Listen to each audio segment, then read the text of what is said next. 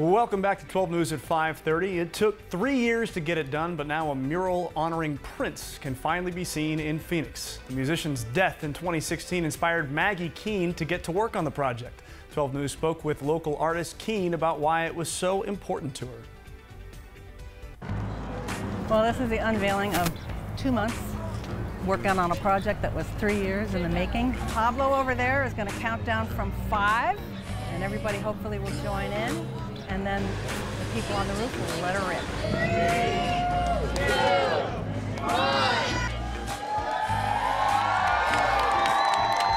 I wanted to do it for a very long time, and really happy I'm finished, and I'm happy to be unveiling it tonight.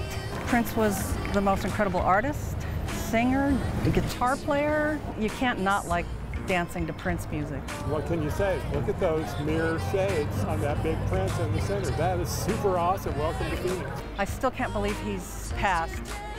You know, uh, his art, it, it just affected, affected people, so many people. You know, I never got to see him, but my way of giving back was, was through art.